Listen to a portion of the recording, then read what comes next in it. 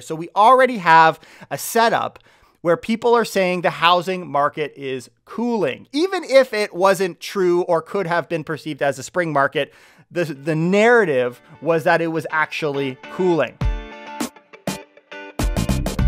Good morning, investors. Bradley here from Watson Estates, and you're listening to the largest and fastest growing podcast for Toronto real estate on iTunes, Spotify, and Google Podcasts. In advance of the stats that are going to be released in the coming days from TREB, I wanted to let you know that the housing market boom is ending. That's right, and lawyers are about to get a whole lot busier. Today, we're going to break down some of those stats, why the market pendulum is swinging, the exception to the rule because there is one exception and what it means for you and your portfolio, as well as who are the winners and who are the losers as we start to see this massive shift happening across the GTA and house prices. So here's the scenario. How is it that lawyers are going to get busier? Well, you purchased your next home against my advice before you sold because the market, let's face it, has been so hot that selling your property is no issue. But let's look at some numbers. You're going to get those in the next couple days announced and you've seen price drops of 10, 15% of what you expected to sell your home for. Well, listen, the problem here now is that you haven't been able to sell your house that's been on the market for the last two weeks, and you won't be able to close on the house that you purchased without getting something in writing, some firm agreement sale document on your property. And on top of that, you're now being requested by your lender to get another appraisal done before the closing of the home you're purchasing. And guess what? No lender in the right mind will cover the shortfall that exists on that property as well. When it's all done, there won't be any money left to pay the lawyer unless you're a dentist because they have retainers. But that's about it. We have ourselves a problem, and this is new info. And, and today I want to really break down what has been going on over the last couple weeks that is really leading to this. What is the cause? Who do we blame? And what does it mean for you as an investor in your portfolio? Before I get going, you know me, I like to ask to hit that like, hit the subscribe, support the show. And if you're getting value or if this is news to you and something that you think is worth sharing with your friends, tag us on Instagram at Watson Estates. So we're going to start off talking with market stats. Now, I will begin by stating I'm not going to get into house price changes. It is segment by segment, but we will cover that on the next episode. I really wanted to wait until we got the TREB stats to break that down, but that doesn't mean that we can't be confident in what exactly has been going on in our market because we do know several things. First off, the rolling 30 days of 416 sales has stayed the same for free, for freehold which is really just six less than last week in total, and condos is less by two. So virtually identical as far as the amount of sales that has happened. Meanwhile, though, there's increasing inventory, which even myself has been hopeful and dismissive of maybe it's a spring market. Well, active listings have grown by about 180 for the second street straight week in a row, and we're narrowing the gap between prior years. is very much looking like the last few years as far as what we have available. All of this kind of run up that's been happening with this low inventory seems to be evaporating, and we're, we're returning from a wildly low to somewhat normal level. That's the first thing. Meanwhile, months of inventory is increasing and market pressure is beginning to ease. We see a very slow increase in the months of inventory, but an increase nonetheless. But there are also red flags beginning to appear, and this is what I think the news will be in the coming weeks. The first being the sales to new listings ratio. We saw back in December in Toronto, it hit a max of 117%, which is unbelievable, but it dropped all the way down into March to 64%. I wouldn't be surprised if we saw it enter below 60% in the coming weeks, 40 to 60% representing a balanced market. So we could see this very quickly shift from a seller's market into a balanced market. News I have not heard elsewhere, but it seems to be headed in that direction. My prediction is that the sales to new listing ratio will continue to drop through the remainder of March from where we saw the 64% and probably into April at least. But who knows? We're going to track that. 416 sold over list is another red flag that I'm looking at. Now, there's just over three in four houses that are still selling above list price. And you might say that's still a massive number, and you would be right. But we're past the five weeks of it being over 80%. So there does seem to be this downtrend as far as what is selling over asking. Not just that it is selling over asking, but the amount by which it is selling over asking. 416 condos sold 20% or more over asking is dropping fast. It hit a high of 31% and it has now dropped down to 23%. We are seeing not not just the number of over asking offers decreasing, but the percentage over asking is decreasing very, very quickly. Even in healthy segments, the condo market, which is notoriously the strongest market, some would say in the 416 going into this year, is also experiencing that hit. How much more? Will we see that in the low rise segment as these numbers are released? The TREB numbers will come out early this week. And I'll tell you now, several regions and segments have dropped in price, some that would be surprising to your ears. So we won't get into that today, but we will get there in the coming weeks. I want the stats to be solid, and I don't want to be the first one to just throw out random numbers, but it very well in many segments will be double digit declines. But just because your neighbor set a new high price on your street doesn't mean that you will. Just because my uncle was a lawyer doesn't mean my drunk cousin Alex can do it. you can't even pass the bar, bro. so, besides talking about the fact that the market is changing, and maybe this is uh, news to you, and if it is, there you go. You got it. Run with it and enjoy the, the news to follow this. What I want to cover on the show today and what will matter in the coming weeks is why is the market changing? The why seems more important of the fact that it is. And the first big indicator that that sticks out to me that has kind of led the the fun here has very much been the media.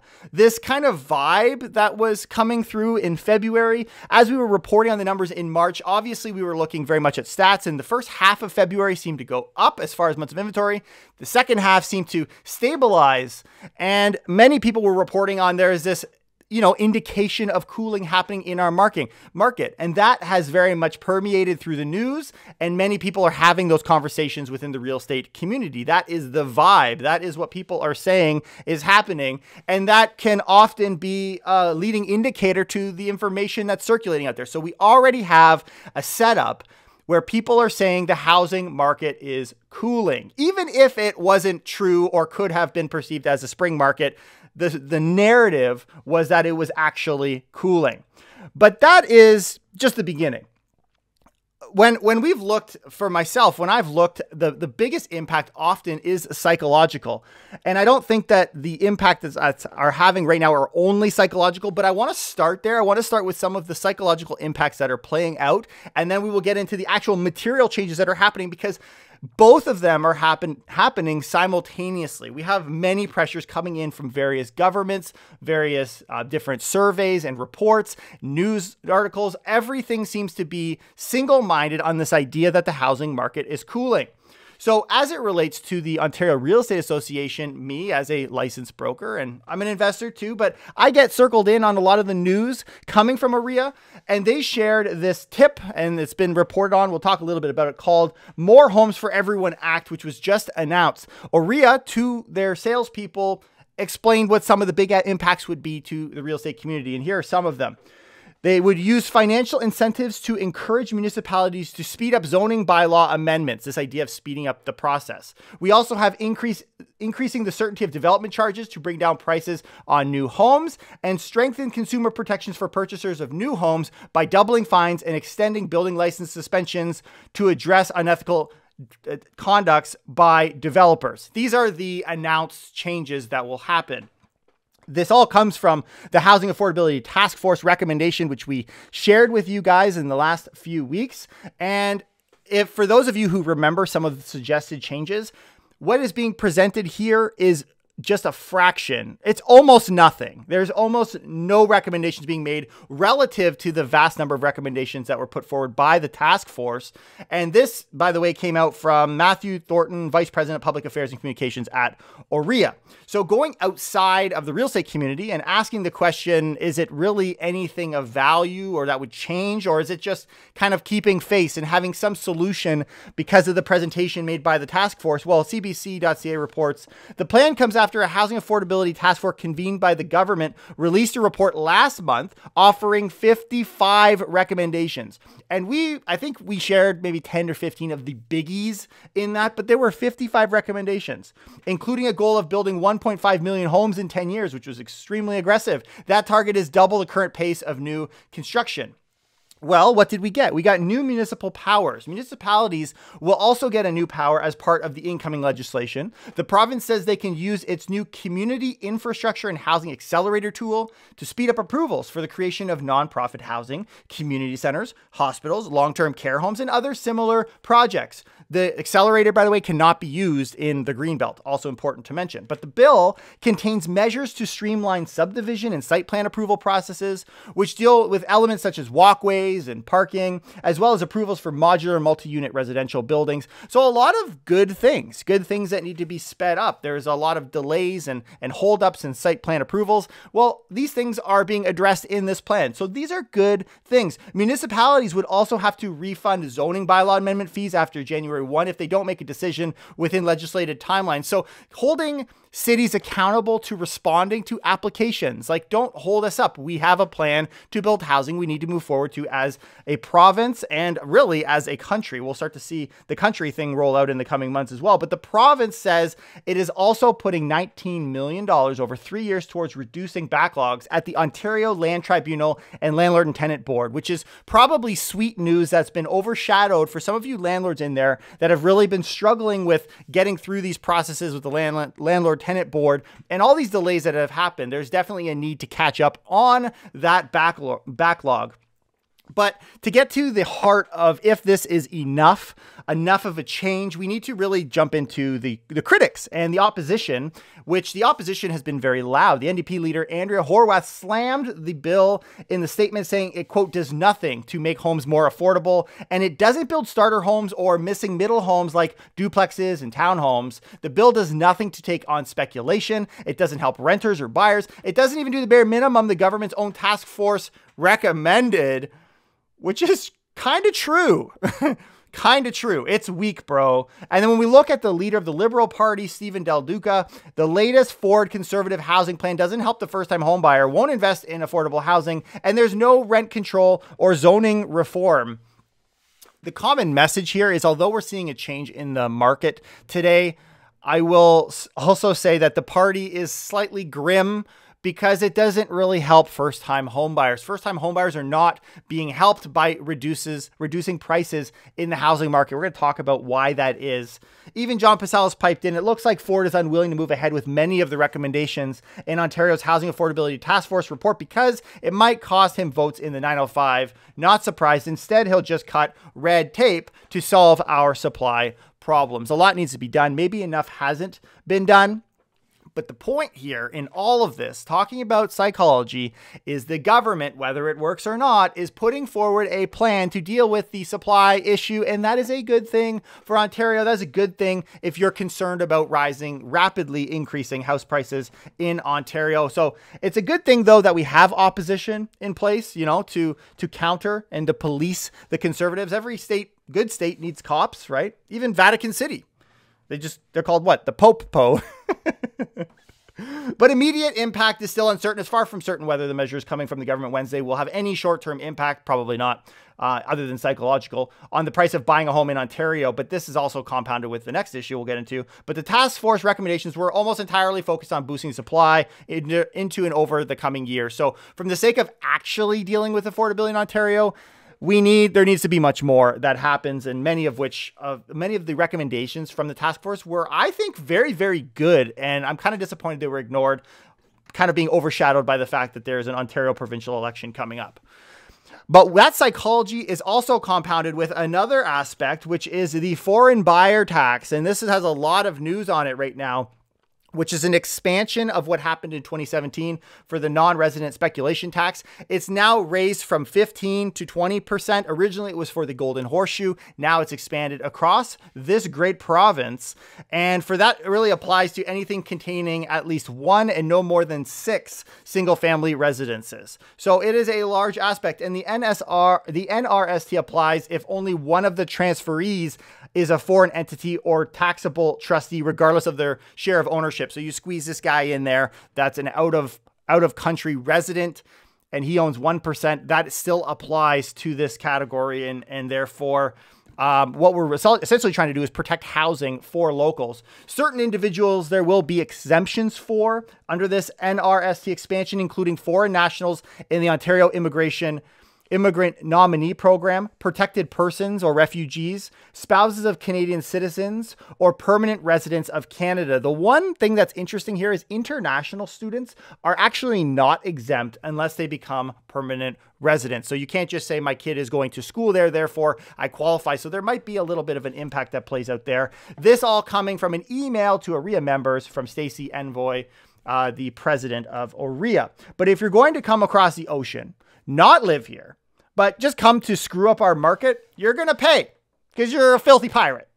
at least that's how they look at it. And so we're going to we're going to take a piece back and it's going to be an eye for an eye.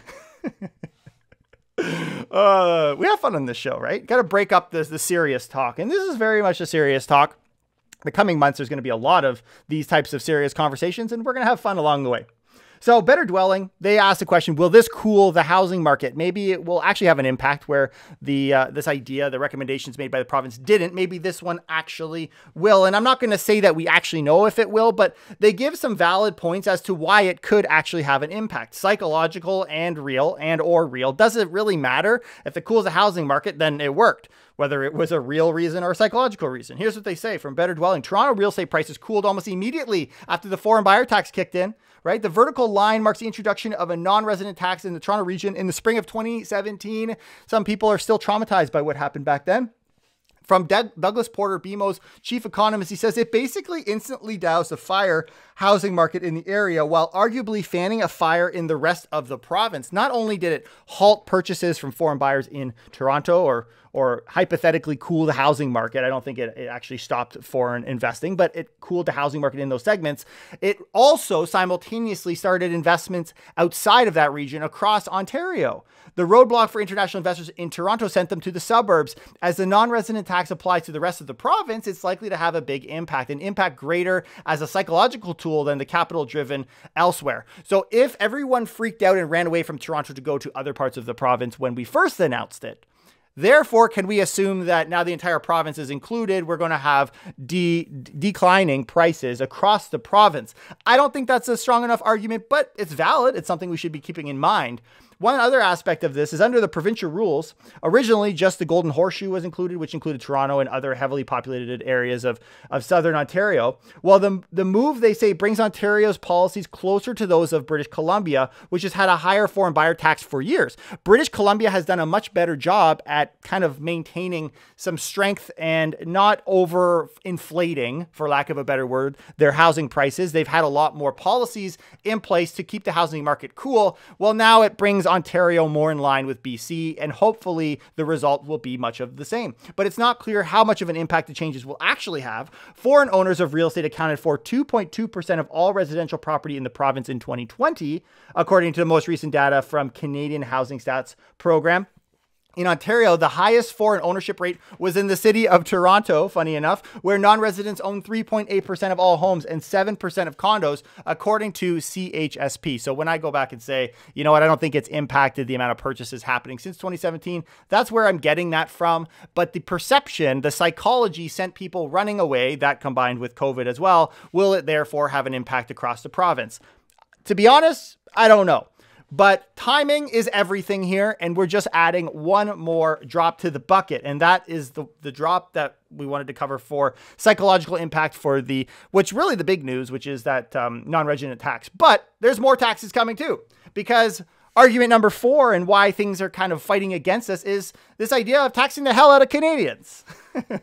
this conversation of doing that, a Remax Canada report that collabed with CIBC and the Conference Board of Canada had this report called Unlocking the Future, the Economic Chapter which offered a five year outlook and analysis of like different scenarios that could happen between now and 2027.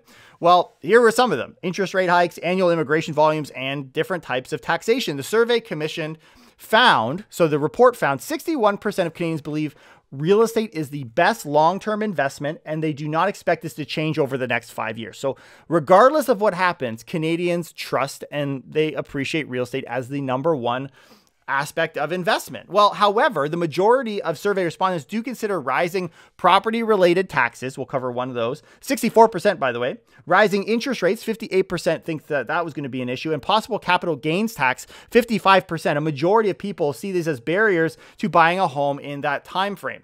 So I was contacted. Actually, there, so there's one scenario here. I was contacted by a reporter uh, from storeys.com. I was able to comment on one of these articles, but the scenario was here to manage ballooning deficits and calm a heated real estate market, the federal government removes the capital gains tax exemption on principal residences in the next five years. My response is why are we having this conversation? Please do not get me started. Someone's going to get hurt making those kinds of threats. Come up in here and talk about removing the primary residence exemption.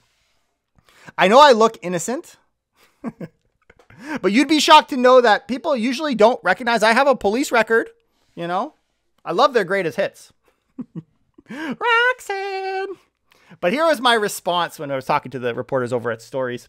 Uh, a, a, strident capital gains tax on primary residents could possibly open up another can of worms, though. Bradley Watson, host of your favorite fans, Toronto's number one real estate podcast, says such a tax would despoil end user home ownership of its intrinsic value and create unsustainable rental demand. The thought here is if a capital gains is taxed anywhere near as much as the primary residence, so let's say the circumstance, I guess I added my own terms here, is we're going to have the same capital gains tax, a 50% capital gains tax. It could spawn an investor class who see real estate in purely asset leveraging terms. So we're going to look at your home in the exact same light as we would look at a rental property because at the end of the day, they're taxed the same way. And Canadians love investing in real estate as the primary vehicle. But, but considering Canada's major urban areas already have too little rental supply, growing demand will invariably result in higher rental prices, which would pro- which would spread to secondary and tertiary markets. Here was my thought. So if I'm going to look at my house and investment property in the same light, I'm going to look for the one that has the best returns. And where is the best returns? Well, some of these secondary and tertiary markets where I can get an actual cash flow and maybe some stability in price instead of all this up and down fluctuation. As a result, if I want to live in Toronto, which is where I, at the end of the day, would like to be, I will rent my place, thereby increasing competition in the rental market and spiraling additional conflicts essentially what's happening here is there's no longer a value for me to maintain my house as a primary residence as any tax benefit whatsoever which will have immediate consequences to some of these smaller markets that can op- can offer you as investors a higher return. Just some things to, to kind of keep in mind and some of my thoughts on that but we've got media, we've got new taxes, and fear and threats very much of more taxes. And that's just the beginning. There's a quote full scale attack on the real estate market. This comes from a Better Dwelling article quoting BMO Capital Markets, warning clients of a laundry list of measures designed to cool the market, all hitting at once. We listed some of them here, but they've got one more as well. There are measures coming from Ottawa in the coming week. We'll see what Ottawa has up its sleeve too, perhaps in the April 7th budget. There's more to come if that wasn't enough. Ottawa is leaving Canadians guessing on policy movements, but the vacant home tax is almost all but done. Canada's Department of Finance has been working on the details. So far, there's a mandate on wide loopholes, but the tax is largely a psychological tax in the first place. A vacant home tax across the country is almost developed, and we'll see what that looks like from the federal level. So, my conclusion after looking at all of these things, all these different factors, these different people attacking in unison the housing market, is when the market crashes, it will have happened because we all wanted it to.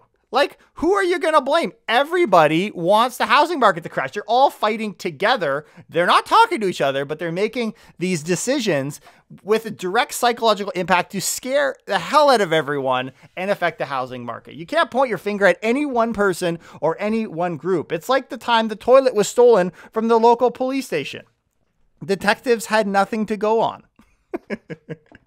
But these things, though they might all be psychological at the end of the day, there's one thing that's definitely psychological, but will have a real impact in affordability and is what is ultimately hurting these first time homebuyers and is going to hurt a lot of people getting kind of caught in the crossfire. And that is interest rates. But we knew interest rates were going to rise. The problem is that interest rates are going to rise faster and sooner than anybody has expected, myself included. Some economists now think the Bank of Canada could go twice as high as it was pre pandemic. There is a good chance the bank will ratchet its rate up by half a percentage in its meeting in April. We're talking in the next week or two, taking the benchmark rate to 1% a big jump when we're considering a quarter percent, these kind of incremental increases. Now, all of a sudden, we're doubling it. At central banks, caution is a virtue, so they tend to move up and down slowly in 25% increments or a quarter of a percent at a time. Well, moving half a percentage point at a, to- at a time is a sign that the bank could be thinking more aggressive action is necessary. The bank's deputy governor at a speech in San Francisco this week was actually caught saying to attendees at this monetary policy conference that an uptick in household debt was, quote, worrisome and that the bank was, quote, prepared to take act prepared to act forcefully to ensure inflation doesn't run hot for too long. And this has already found itself through the mortgage rates. Don't think, oh, rates are going to go up. Variable rates will go up, but we know that's happening. But we already see this playing out in the fixed mortgage rate um, environment. A lot of people are already feeling the crunch, and they have through the months of March. It's coming through in the data. Variable rate loans are pegged to the central bank's rate, and they've been inching higher in recent weeks in anticipation of the bank's move. They know it's coming. But Fixed rate loans, meanwhile, aren't impacted by the bank rate at all. They're instead priced based on what's happening in the bond market. But there too, the market has been flashing red warning signs for the past month. Rates are headed higher fast. Quote, as we get into the back half of the year, we'll see inflation starting to settle down. Not as far as the bank would like, but at least headed in the right direction. But it seems with rates rising as quick as they might start rising, that the end of the year is pretty far away. And there's a lot that will happen in the in between. Uh, now, I am all for increasing interest rates. I think that's great. I think that is a real way to to temper the housing market, slow things down, cool the housing market. I just don't like that it's combined with all these other psychological things, and the fact that it's speeding up, I think, has created this extra kind of fear. But I think it's ultimately good to have interest rates rise. Inflation is really, really getting out of hand. We've talked about this. In fact, I think this is too late. I think we should have been dealing with this a long time ago. But I mean, that's my three cents. Get it? Inflation. Anyways. but banks have been pricing in hikes for months, and we've seen that play out. I'm going to get through some of what those rates look like today for those of you, and I think you'll be shocked. But affordability is also at the same time going to get harder. That is the point. But before we get into rates, and one other thing that you're not going to hear, because it really hasn't become much of a conversation, is the stress test, what that looks like. We'll get there in a minute. But I want to share with you, as promised, the one exception to the rule, the one exception, at least according to Royal LePage, of everything that's playing off happens to be in the cottage market. There's a Globe and Mail article, Cooling of Ontario Housing Market hasn't reached cottage country yet. And they go on to talk from Royal LePage Signature Realty that there's no signs of slowdown in Ramara Township, uh, north and east of Toronto. They talk about Kawartha Lakes. They're still busy, right? We've got uh, Lake Scugog in Port Perry. We got northeast of Toronto. Uh, there's so many different these different markets. I don't tend to play much in the cottage space, but it sounds as though they are immune in a lot of ways to some of these increases. So they're predicting this this agent from Royal Page that demand will keep pace because these are the reasons. Retirees downsizers and first time buyers priced out of the city are all looking for areas like Orillia, Brechin, Beaverton, Cannington and Washago and all of these buyers are in addition to the traditional clients searching for a cottage. So this idea that people will continue to run away now, I think the argument that they're doing it due to affordability is probably more of a legitimate reason than that they want to leave the city. But For whatever reason, there seems to be some immunity. I'll believe it when I see the stats, but the claim is that cottage country is still doing well. A Royal LePage Spring Recreational Report price forecast for 2022 says that Ontario cottage country properties are set to increase from 485,000 to 653 for single family non waterfront homes and it's going to increase from 624,000 in 2021 to 888,000. This is Muskoka, Orillia area waterfront single family cottages will soar, they say, over a million bucks. We'll, I'll believe it when I see it because I don't think they're immune to some of these these increases in interest rates, but they're probably immune to some of these psychological impacts, and maybe that's what's playing out here. But I'll believe it when I see it. In a world where affordability and space are hard to find, cottages do seem to be the only spot for it, and again, I'm not I'm not convinced, but we'll we'll look at some of those numbers as they're released from TREB to see if that's actually playing out. I see the impact of all of these things happening in the GTA absolutely. That's why I'm comfortable putting out this podcast in advance of some of those stats, but I can't speak to markets that I don't spend a lot of my time in, so we're going to have to watch and rely on the experts of those areas for that. But what does all of this mean for you? All of these changes that are going to happen that you're going to be kind of concerned of as the numbers are coming out. I want to really break it down. The first piece of advice that I would give now more than ever is sell first and buy second. It's always the case, even in the hottest of markets, but especially now because you're going to get caught in the middle. GTA deals are on the way but will be for a limited time. I would highly encourage those of you who are considering purchasing at the dip when the dip does happen to work on those approvals now. I think you'll be shocked by some of those rates, but you want to have the gears turning because when the opportunity presents itself, you don't want to be sitting. It just takes too long. Real estate, you know, it can, though it happens slower, it does happen, you know, within a month. So you're going to want to know, you're going to keep up to date with our podcast and other sources, wherever you're getting your real estate information. And when you see that golden opportunity, be ready to move. You don't want to get caught off guard and be running and looking for, you know, interest rate and approvals or all that stuff. Get it up front. The other thing that I think is going to play out here is that cash flow is king. Maybe that's why we see cottage countries in some of these further out areas doing well because cash flow ultimately is the only safety net when prices are going nutty. But also, generally speaking, what you're going to see in the stats is that larger segments, so talking about detached, are actually being hit far harder than condos. So the larger the segment, generally speaking, the higher the impact right now as far as price declines that will be uh, presented to you in the next week or so. Also, affordability isn't getting any easier because though prices are going down, which is what we were all aiming for, the biggest reason because of it is because rates are going up. And therefore, it doesn't actually help you in the affordability front. John Pasalis put it like this The monthly payment on a million dollar mortgage last year at 1.75% was 4115 Well, today at 4%, we're looking at over $5,200. So we're entering an interesting period for the housing market, he says. High home prices, rising interest rates, and rising prices for everything else we buy. So, where I want to kind of uh, go at the end of this podcast is somewhere where no one has gone before. And something that's just been sitting in the back of my mind is how does this all play out? Because we've had this stress test long before interest rates started rising. And we weren't too worried about it because, you know, it was well over 5%. And like rates aren't going over 5%. So I'm I was I'm thinking, well, well, we're getting there, right? So what does how what impact does that have on the stress test? So here we go. When I look at BMO.com, who really illustrates and defines what that stress test looks like, this is what it says. The most recent changes introduced a new mortgage qualifying rate for all uninsured and insured mortgages, all mortgages, all applications submitted on or after June 1st. The minimum qualifying rate is based on either the benchmark rate of 5.25% or the rate offered by your lender plus 2%, whichever is higher. That's key, whichever is higher. At what point do we have rates that are higher when you add 2% than the benchmark rate? Well, guess what? We're already there. And this is definitely playing itself out for those of you who are going to apply for mortgages at the bank or wherever you get your mortgage. When I look on RateHub, the lowest five year rate I see right now is 3.04%, but I'll tell you that is very, very low. Most lenders right now are in the mid threes. And when we go to the banks, TD, they got the cheapest rate at 4.59%. BMO, CIBC, RBC all sit at 4.79%. and National Bank and Scotiabank are at 4.99%. That number will be a shock to those of you who haven't been looking for a mortgage or qualifying lately, but that's right. Major banks are at 5% rate, which means if you were, let's say, getting a mortgage today at Scotia and you were going to qualify for that mortgage, you no longer are just qualifying at 5.25. You would be qualifying at 7%. That's right. Buying your first housing qualifying at 7%. How you like them apples? And what does that do to affordability?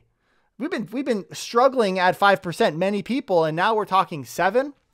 So I can see that definitely becoming an issue with people's ability to qualify. So, though, yes, there's a psychological element to a lot of these things, including an increasing in interest rates, we already see this playing its way out through mortgage applications. And therefore, I think this is why we're going to see, as the numbers will show us in the coming days, that the price of housing is already being impacted. It's not just necessarily a spring market, but because of all of these factors, people are feeling the pinch a lot sooner than expected you guys will remember one of those big deal breakers of this fact that we could have continued price growth in the coming months would be a rapid increase in interest rate or government directly attacking the housing market. Both of those things, as you can see in our podcast today, are happening.